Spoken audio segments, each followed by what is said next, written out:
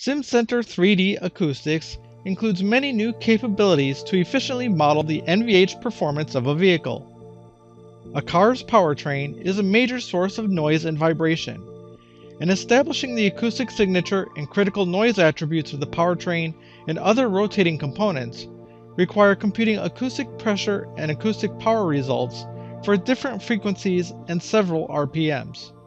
In this video, you'll discover some of the advanced features available in SimCenter 3D Acoustics to predict noise radiation emanating from a gearbox. The gearbox structural model was created with 3D and 1D elements. Next, the acoustic model including the fluid and structural mesh is displayed. The acoustic mesh is shown in blue and the receiver microphone mesh is shown in yellow.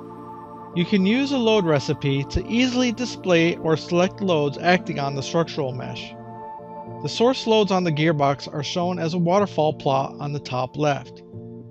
As you can see, the loads acting on the gearbox structure are multi-frequency and multi-RPM dependent. The red zones are the engine orders where the loading is dominant. Using earlier versions of SimCenter 3D Acoustics, the solution had to be calculated for each RPM using NX Nastran Solution 111 modal-based force response. The waterfall plot of computed acoustic power is shown in the top right. You can find back the engine order as diagonal red spots. You also get insights about gearbox acoustic behavior and its dampening characteristics. The contour plot of computed acoustic pressure is shown in the bottom left, along with the microphone mesh and the XY plot of the computed acoustic power is shown in the bottom right. With this new release of SimCenter 3D, you can use the new Acoustic Transfer Vector, or ATV, to speed up your vibroacoustic computations. ATV relates the normal structural velocity of the radiating surface and the sound pressure level at a specific field point.